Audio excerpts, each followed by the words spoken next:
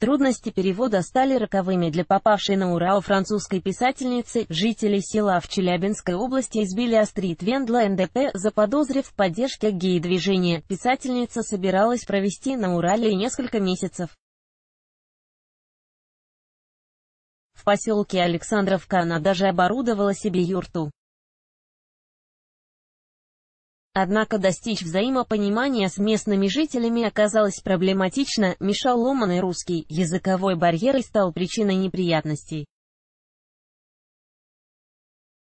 Вендла НДТ в России не впервые, на сей раз писательница приехала с другом Жаном Филиппом, по словам француженки, он очень похож на Бельмондо.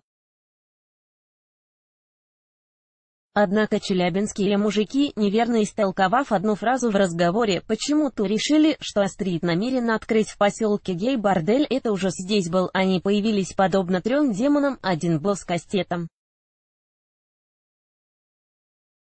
Я орала, помогите, но на помощь никто не пришел, описывает инцидент Вендла НДТ.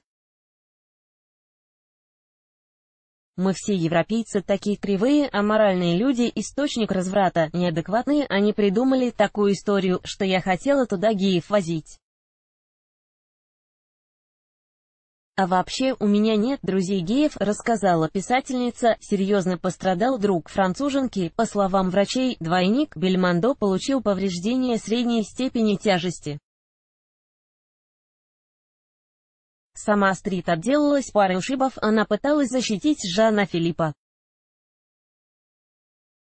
Расследование инцидента затягивается из-за того, что француз сразу после происшествия улетел на родину. Теперь он никак не может выбраться в Россию, чтобы дать показания и принять участие в очной ставке.